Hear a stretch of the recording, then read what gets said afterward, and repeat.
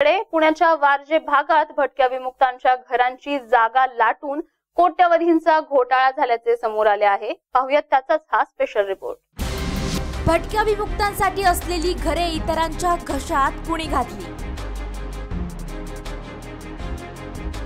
जिल्हाधिकारी पुणे यांनी सभासदांची पात्रता घोषित करण्यासाठी औपचारिक आदेश जारी केले आहेत का? आहेत या घोटाळ्याचे सूत्रधार.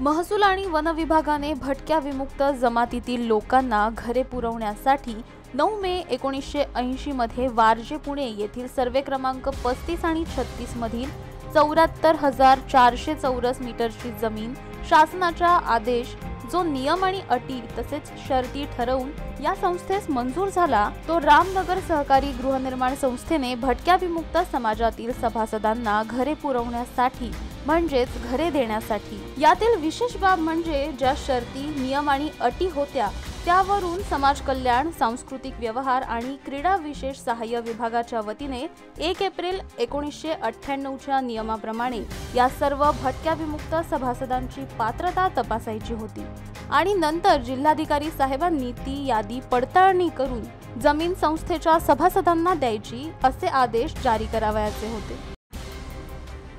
नियम शर्तीप्रमाणे शासनाच्या पूर्व परवानगीशिवाय जमीन हस्तांतरित अथवा गहाण ठेवता येत नाही. ज्या प्रयोजनार्थ जमीन मंजूर करण्यात आली होती केवळ त्याच्यासाठीच त्याचा उपयोग करायचा असा आदेश दुसऱ्या कारणासाठी मंजुरीशिवाय त्याचा वापर करावयाचा नाही.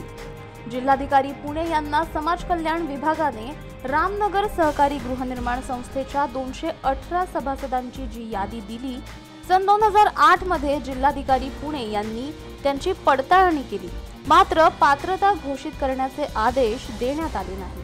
असे असले तरी रामनगर सहकारी गृहनिर्माण संस्थेचे अध्यक्ष गोटे यांनी सर्व नियम आणि अटींचा भंग करत नोव्हेंबर दोन हजार नऊ मध्ये सिद्धार्थ प्रॉपर्टीज सोबत जमीन विकास करारनामा केला.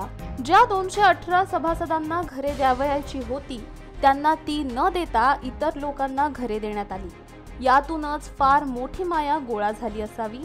जमिनीचे वाटप होत असताना संबंधित अधिकाऱ्यांनी जर लक्ष दिले असते तर हा प्रकार घडलाच नसता. सदनिका हस्तांतरण करताना सर्व शहानिशा करावयास पाहिजे होती असे घडले नाही. ते घडले नाही म्हणून अध्यक्षांनी जे सभासद नाही अशा व्यक्तींना घरे देण्यात आल्याने शासनाचे सुमारे पंचवीस कोटी रुपयांच्या जमिनीचे रामनगर गृहनिर्माण संस्थेच्या अध्यक्षाकडून शोषण झाले हे मात्र खरे. मात्र गोटे अथवा संस्थेच्या अध्यक्षाविरुद्ध वाटप अटीचे उल्लंघन झाले म्हणून कोणतीही कार्यवाही झाली नाही हे नवलच.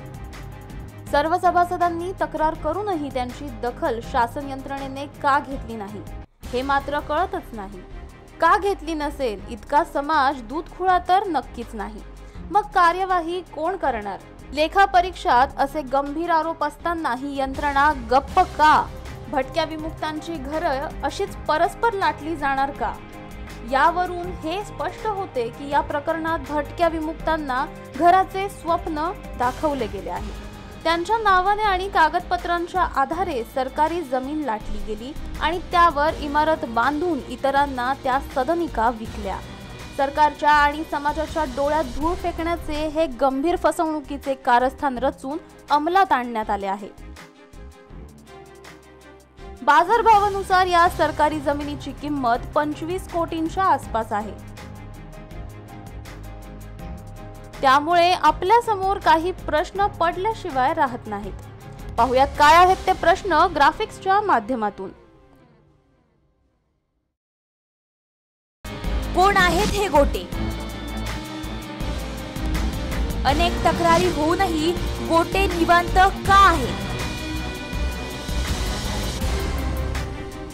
अधिकारी विकासक आणि सोसायटीचे अध्यक्ष यांचे संगनमत आहे का? या प्रकरणात अनेक तक्रारी येऊनही का होत नाही चौकशी? या प्रकरणी कोण आणि केव्हा करणार तपास आणि कारवाई? आणि सर्वात महत्त्वाचा प्रश्न म्हणजे मूळ यादीतील भटक्या विमुक्तांना घरे मिळणार का?